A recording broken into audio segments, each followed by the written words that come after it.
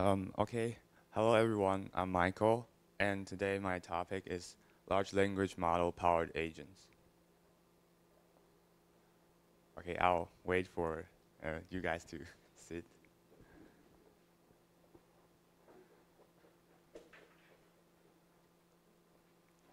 Yeah, so again, uh, I'm Michael, and my topic is large language model powered agents. And uh, I'll start by introducing myself a little bit. Uh, 我的中文名字是曾廷汉。Uh, I'll be I'm a first year CS student at Minerva University, and I just graduated from this pink uniform high school. And this is the avatar I usually use online. And uh, I was born and raised in Hsinchu, so English is actually not my native uh, language. So if you notice any grammatic error, just let me know. And you can ask me questions in Chinese, and I'll also be able to answer them. So just, yeah, feel free to ask uh, questions in Chinese.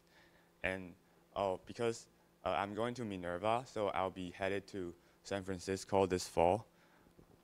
And uh, the last thing about me is I'm very excited about the recent development of artificial intelligence, and I'm also very interested in startup.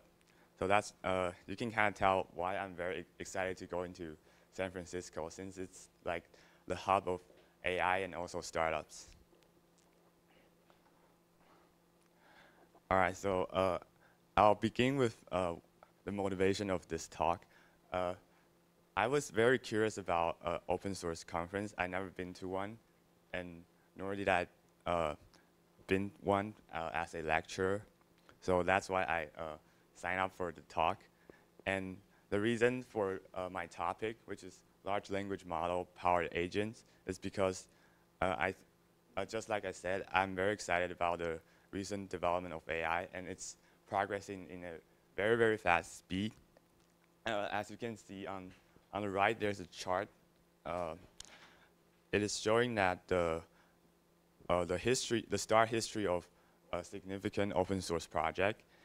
And you can see that uh, on the right, there's a red axis that, that almost looks like an axis, but it's actually the, uh, the growth rate of uh, AutoGPT, this open source project, and uh, it, the star grows so fast that it almost looks like a vertical line.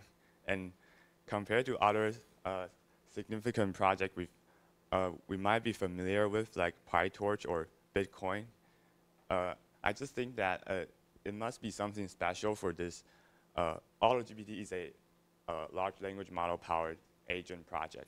So I, I just think that there there, there's something special about uh, these type of agents, and I wanted to explore them and uh, to share with you guys.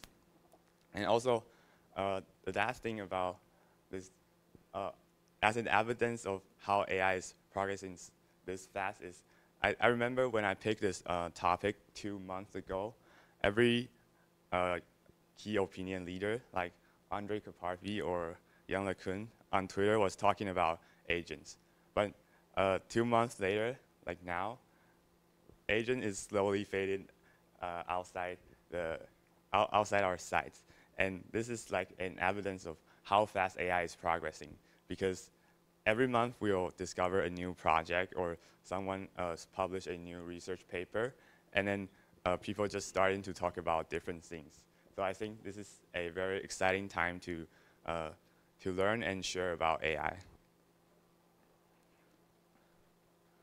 Okay, so um, because my topic is large language model powered agent, and I think I should briefly introduce what is a large language model, even though I believe that many of you have already uh, learned or understand what, uh, what an LLM is.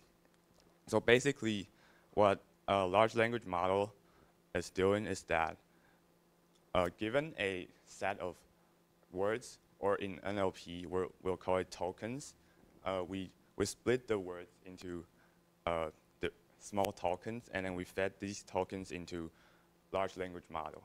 And what large LLM is doing is that it will look at all the tokens, uh, feed it into it, and then predict the next most probable token.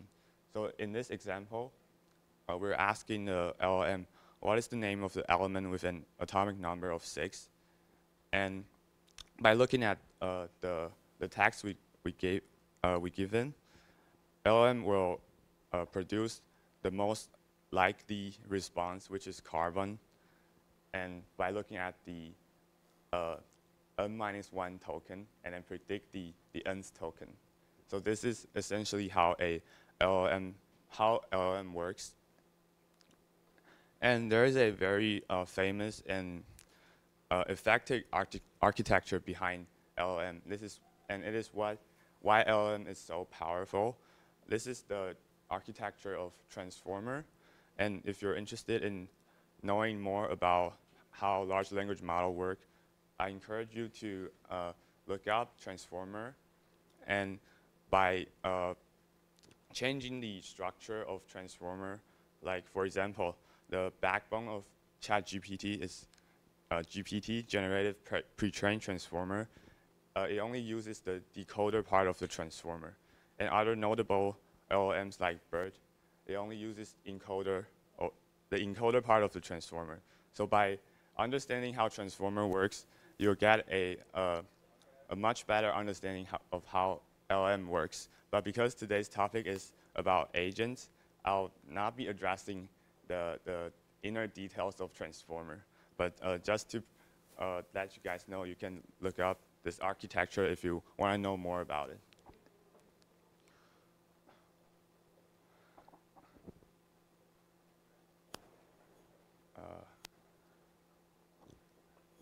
Okay, so for those of you who just came in, uh, my topic, I'm Michael, and I'm a first year student at Minerva. And my, today I'm going to talk about large language model powered agent. And we just covered a part of large language model. And I think a lot of you may already knew what large language model is, so that's fine. And right now I'm going to talk about uh, the difference between LLM and agent. So basically, we're trying to bridge the gap between language and action. And uh, you'll notice that LLM is very powerful. It can do all sorts of, uh, uh, it has a lot of use cases like content generation and summarization, translation, classification, and you can, you can also chat with LLM.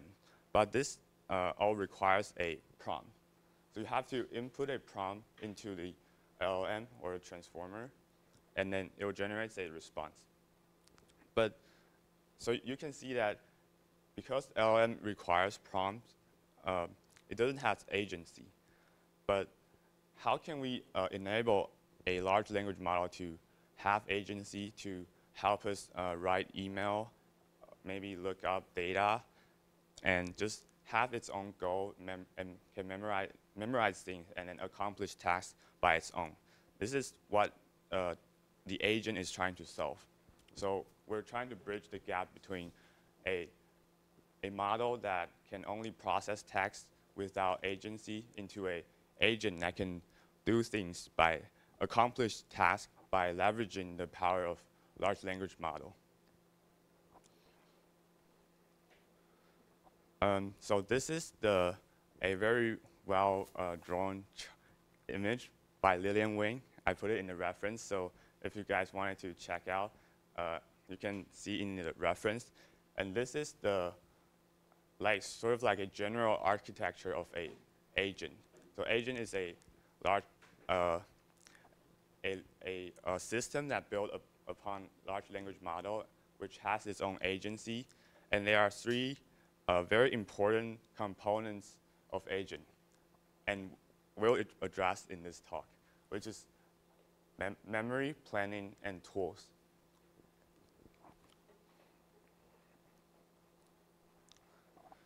And uh, we'll start with planning.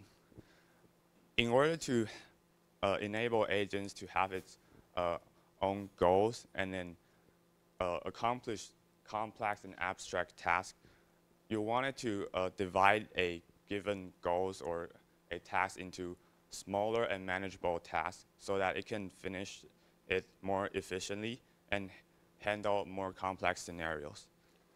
And uh, just like we're, just like humans, uh, for example, if we're cooking, uh, we don't just start our action. We will uh, first maybe we'll look up a recipe and then we'll prepare our in ingredient. We'll plan before our action. So this is a very uh, essential and critical part of what makes agents so effective at, at uh, accomplishing tasks. And this, this chart is uh, the different techniques that we can use to uh, enable agents to have, to, to split the bigger and more complex goal into smaller and manageable steps. So uh, there are a lot of uh, techniques. One of the famous one is uh, chain of thought, and there's a more recent one, tree of thoughts. Basically, what they're trying to do is uh, large language model have the power to reason about uh, your given instruction. And for example, for tree of thought, uh, it enumerates a lot of uh, different, different ways to approach a same problem, and then it selects the best one that produce the best results. So that uh, in the original one, which does not have any techniques, maybe it will produce only one output, and it's like having only one ways to solve a task, whereas tree of thought, uh, by breaking down the, the task into more smaller steps and then uh, choosing the best route to accomplish a goal, it gives the agent the ability to solve a more complex and a more big, big task. And the second thing about planning is combining reasoning and acting. Uh, so, like I said before, a very uh, important, Im important part of the agent is the ability to, to do action in real world scenario. Unlike a large language model, we can only, which can only operate in, within text. So uh, this is a very uh, classic framework for how reason agents uh, combines its reasoning ability provided by large language model and the action ability provided by uh, external tools. So on, the, on your right, uh, you can see that in the middle it's a language model, and then uh, we'll provide the reasoning trace and then the action and the observation of its action, uh, what, what its action has affect the environment. And this framework is called React, and I think uh, we can better understand this example by looking at a looking at its uh, paper. So this is the one image that it, from uh, the React paper. So the question or the task we're trying to accomplish today is to answer this question.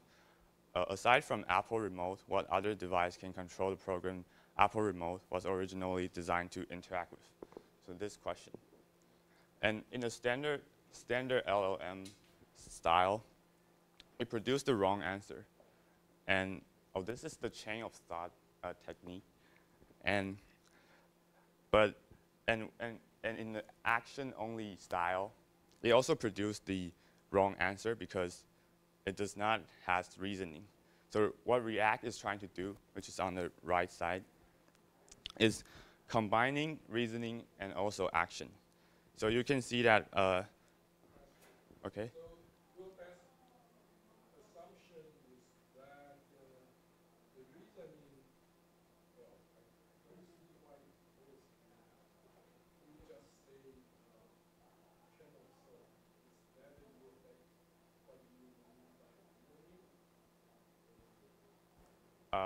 so chain of thought is telling the language model.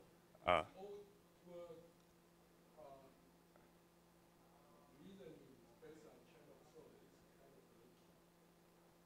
it's kind of, uh, sorry, what? Lake?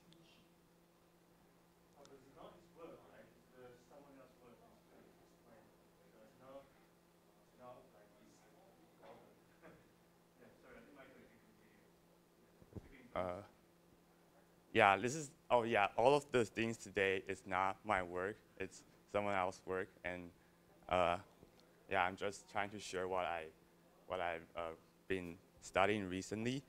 And uh, I think most of the on most of the articles I read, uh, we think we regard chain of thought as a part of reasoning, but if you think that's not that's a too fishy reasoning, maybe you can look up other techniques. I believe there are other techniques that uh, address reasoning more neatly.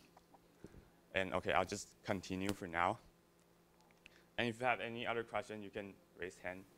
And yeah, we're, we're trying to uh, solve it. Okay, so back to the React example.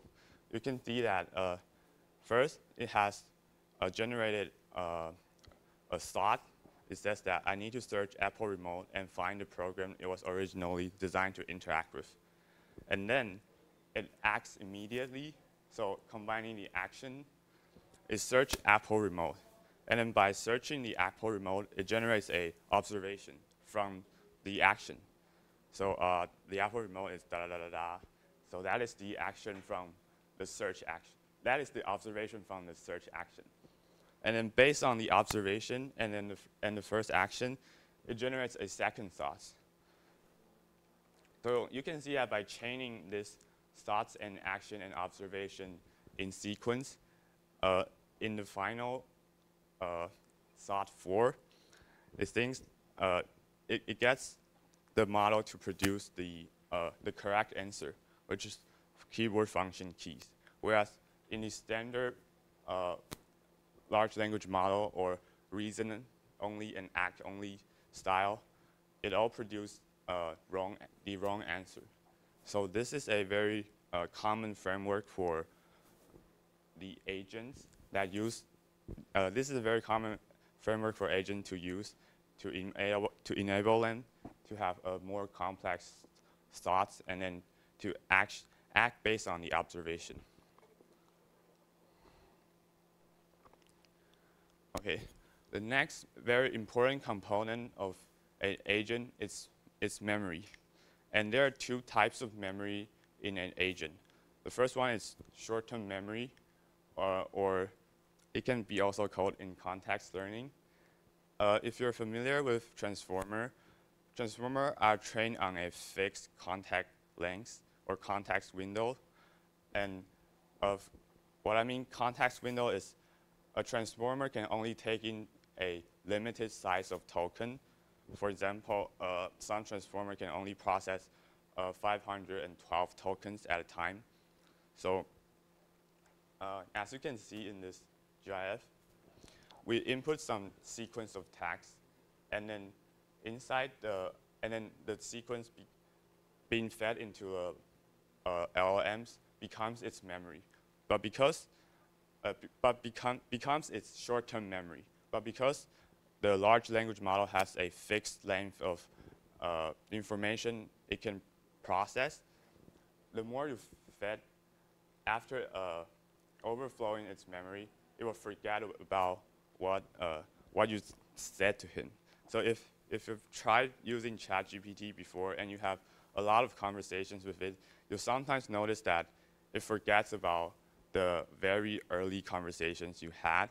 And this is because uh, the context window of GPT is limited and you cannot, it cannot remember all of the information you gave it. It, it only remembers the, the most recent uh, details and, uh, and information within its context length. So this is the short-term memory for a agent. And there are a and there and there are long-term memory, which is another type of memory uh, these agents use in, or, in order to uh, to memorize the information we give them. Because uh, what we want agent the agent to do is to achieve complex tasks, which often requires uh, breaking down the task into sub-goals, just like we said in the planning. And we will often record these sub-goals and each sub-goal's observation into a vector database, which is the long-term memory of a agent, so that the agent can uh, continue to reevaluate its action and then to uh, retrieve the observation uh, from, from its action. And how the, how, uh, the long-term memory works is that we will, uh, I'll give a concrete example later, but how this works is we will store the, uh, for example, in the last example in the React framework, we have a lot of observations, right?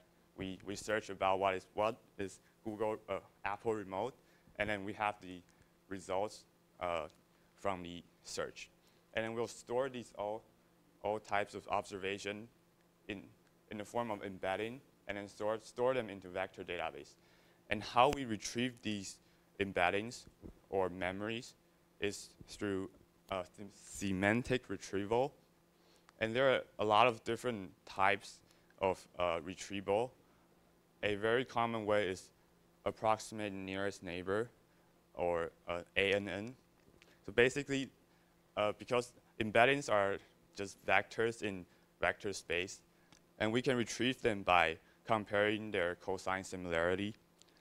And that's how we, that's, that's a very uh, simple method to retrieve these uh, observations or memories of the agent. And there are more complex way, and if, you, if you're interested, you can search uh, approximate nearest neighbor or maximum inner product to find more about how agent can retrieve its memory based on its uh, current observation. So these are two types of memory for a agent. And then there's and then this is a, a, concrete example for, for us to understand how the memory system of the agent works.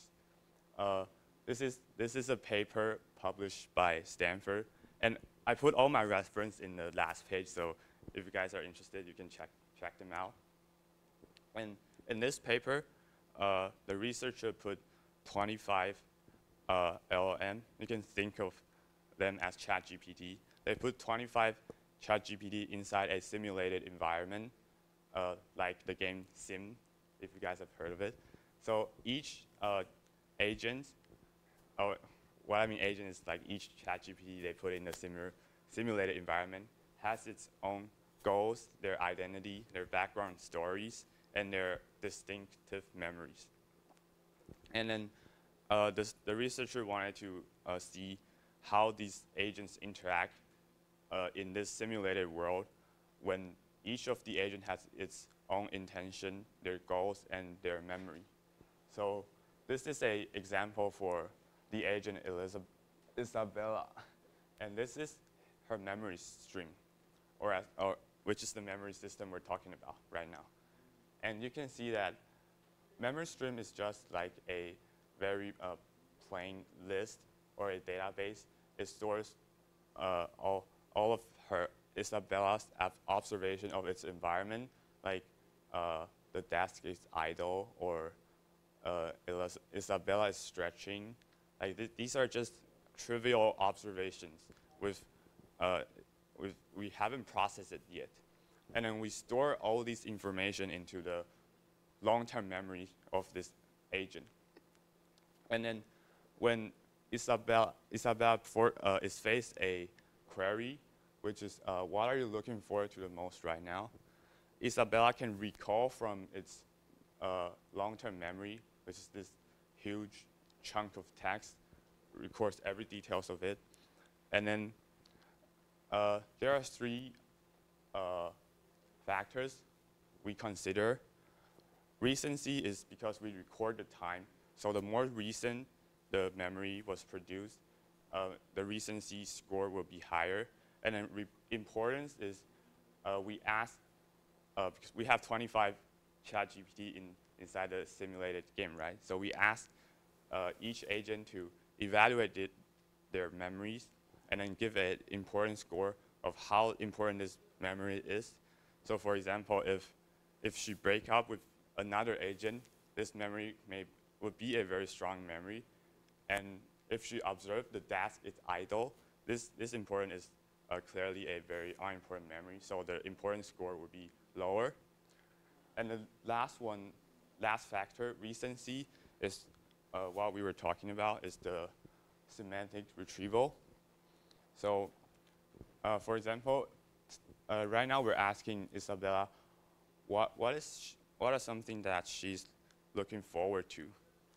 And we will uh, translate this sentence into embeddings and then perform an uh, cosine similarity search within the, the large, uh, the long-term memory we just recorded. And then by doing this, we can, uh, we can retrieve the most similar, semantically similar memories and then put them into the context. And so by combining these three factors, we will retrieve a bunch of text, and then we'll put this bunch of text into the short-term memory. So remember I said that uh, the agents can process a fixed length of memory at a time. And outside of, outside of that fixed length of memory, we'll put them into long-term memory. And when, whenever we need to use the information within the long-term memory, we'll retrieve them, and then we fit, it, fit them into the model, and it can be looked as they just remember a lot of things in their uh, short-term memory.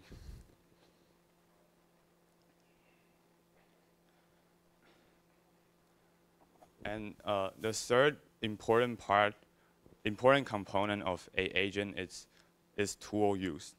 So by equipping uh, LLMs with external tools, we can significantly extend the model's capability. Uh, for example, if we want, uh, we all know that ChatGPT before, or any large language model, isn't good at uh, doing math problem or physics problem. They're not trained to be uh, calculated this type of problem. But we can equip this model with external tools like calculator or Wolfram Alpha. These type of uh, tools are designed to, to make mathematical calculations. And after we get the results from the external tool, we can incorporate the responses back to ChatGPT, and then we can have a more uh, general agent that can solve more, more types of different problems. So in this, in this image, uh, we, we augmented the agent's uh, ability to search online and to uh, make manage our finance and then to uh, to control our smart home system. And you can kind of imagine that uh, using the large language model as a core controller and then augmented with external tools, it can achieve a lot more things than just by uh, only having the ability to talk. So uh, I don't, I know OpenAI recently released the uh, extension for ChatGPT. This is very similar to the tool used at, for, for an agent. So by giving them external tools, they can accomplish different tasks, and which will be very helpful for uh, us if we view the agents as a, a personal assistance. And this is a concrete example of a agent with tools uh, augmented. So we, we asked ChatGPT, can you describe this, what this picture depicts and how many objects are in the object, uh, are in the picture. And we all know that ChatGPT is a text uh, single modality model, which means that ChatGPT can only process uh, text information. But by uh, connecting ChatGPT with other models on Hugging Face, which is like a GitHub for machine learning, uh, it can actually have multimodal ability. So in this example, uh, we first use ChatGPT to uh, think about which tools are we going to uh, use to solve this problem. And then after we, we think, we know that which, after ChatGPT decides on which tools it needed to use, it chose ResNet and uh, Vision Transformer for image captioning, which enables it to understand the, the, the context of this image. And by doing that and combining the results uh, given by the external tools uh, it called, we can have the, the, this agent can achieve a multimodality, uh, can, can accomplish a multimodality task. And you can see that it performs uh, very good on this given task. Uh, before, ChatGPT can only understand uh, text, but now by combining its ability with other uh, uh specially trained model on vision, it, it now has a more general ability to approach different problems. Okay, the last one is AutoGPT, which is a proof of concept of uh, the three module we just uh, I just shared, and it combines um, all of them. So AutoGPT has internet access to search information. Uh, so this is tool tool use we just said, and then it also, has long-term and short-term memory management, which is the memory module. And then for planning, it, AutoGPT uses ReAct, which is the framework, framework we just addressed. So this uh, AutoGPT incorporates all of the key uh, components, and it's, so this, this project is, is a very uh, popular open source project. Uh, this is the one that was the vertical red line in our first, first or second slide. And this is because it has a lot of uh, capabilities with a lot, and, and it has all the important components. And this is how uh, AutoGPT works in a diagram. So when uh, users have a uh, query or give, given a task, it will put, AutoGPT will put the task into a task queue. And then it has two different agents within AutoGPT one is task prior, prioritization, prioritizing agent, and the other is execution agent. So by prioritizing the most, the more important tasks and then execute them uh, based on the uh, based on the memory retrieval, it can accomplish very uh, complex uh, com complex tasks, and we can look at by uh, this demo.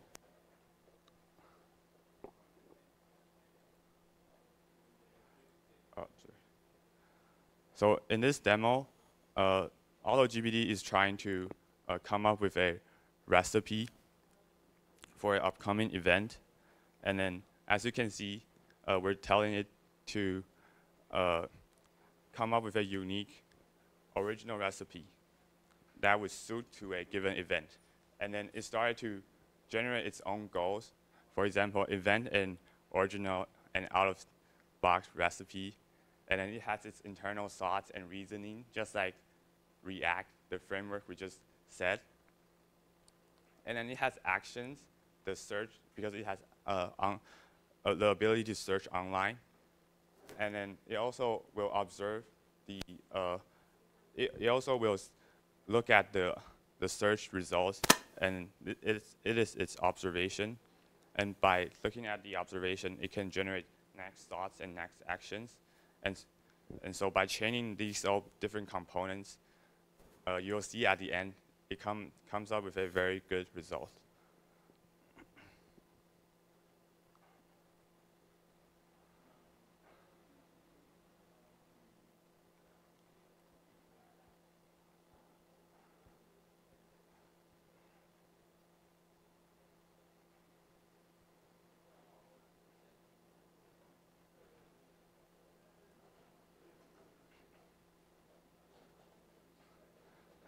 This is the final result of the of agent uh, AutoGPT. As you can see, uh, it comes up with a pretty unique uh, recipe for a uh, unique festival, Earth Day. And by looking at the recipe detailedly, I think it suits the festival very well. And this is like a very good example to illustrate what agent is different from large language model because it, it does actions and it search it searches online and then it will reflect on the memories and also its observation to re refine its next movement. So AutoGPT is a very, that's why AutoGPT is a very popular uh, agent. Uh, but uh, there are still many limitations for these type of autonomous agent or large language powered, large language model powered agent. The first one is error accumulation. Uh, because uh, just like uh, someone just asked about the reasoning process too fishy, that, that's is, that is a very uh, important problem in, for these type of agents because the reasoning process is all the same. So once it has an error, it would try to recursively solve that error, but because the reasoning process is always very similar, so a, a, lot of times it cannot like think outside the box or spot what is the core of the problem and just uh, getting into the same problem every time. And, and what is worse is that because we chain a lot of different actions and observations together, the error would uh, accumulate exponentially uh, as the actions and observations move on. So it's very hard to guide the agents uh, towards our ultimate goal. And the second uh, thing is exploration efficiency. So for these type of agents, every time it has a, it faces a problem or every time it look at a task, it will try to solve it from scratch. But we all know that a human approaches problem differently. We will first uh, identify the base case, and then by combining our past experience, uh, because we, we already learned a lot of skills, we can solve the simple stuff by doing the same thing. But for these type of agents, every time it's, it sees the problem as a new problem, and it will try to solve it from, from the start, it doesn't utilize, it doesn't have a, a strong, it doesn't consolidate what it learns. And so it, it will have to uh, devise a new plan and then execute it and see its outcome and then try another one. It does not remember what is the successful step it took to accomplish a task. So it always, it, it's always a waste of time and tokens uh, for these type of agents to to accomplish a complex task. And the third problem is that a lot of times we give the agents open-ended goals, like uh, maybe like search five the most important uh, AI news for this week. And these type of questions, uh, it's hard to verify and it's hard to evaluate the outcomes of an agent. So we have very few data sets that is trained on uh, these type of open-ended question, which makes uh, building a, uh, a LLM-powered agent a lot harder. And the final problem is the uh, it cannot decompose a problem very in, uh, adequately. So uh, if we give it a very complex or a big problem or goals, some, sometimes it cannot uh, split the goals into the sub-goals that are smaller enough, which it can uh, finish them very efficiently. And that's why it got stuck into uh, different stages within its action because uh, the, the agent just don't have the ability to decompose the text uh, effectively. So uh, after hearing this, maybe we can think about how open source community can help push the frontier of how these agents, uh, how can we improve these problems? And because many of the agents uh, projects are open source, and uh, you can push some suggestions for these projects. And uh, for that thing, I want to share is, uh, I think if, if you know how to code, maybe all of us could start building our own personal AI assistant so for example, uh, I, I have a habit to jot down, oh, okay. I have a, I have a habit to jot down my notes uh, on my messenger. I'll send it to myself and like I'll uh, record some thoughts, journal on, journal on my, uh, my own account. And I just, I think this is a very good example. So if we can build a, a messenger bot that will organize these thoughts for us and then uh, for example, if we meet someone new, we can just type it down and then they'll search up for, for us and then put it into our personal knowledge management kit, or it will read the articles we wanted to read and retrieve those articles when we ask questions to the agents. It will be very helpful for us to have these kind of AI assistants. So uh, I think we can try all try to build our own personal assistants. And yeah, these are the references. And uh, if you want to check them out, you can take a picture. And that's all for my talk. Thank you.